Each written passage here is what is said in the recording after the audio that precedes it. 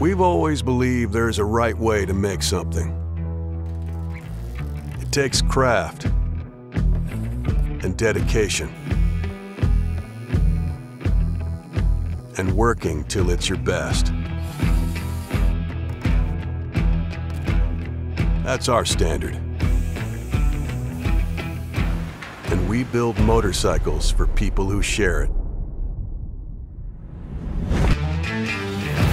Designed and assembled by hand, here at home, the way we made them in 1901. The only way we know.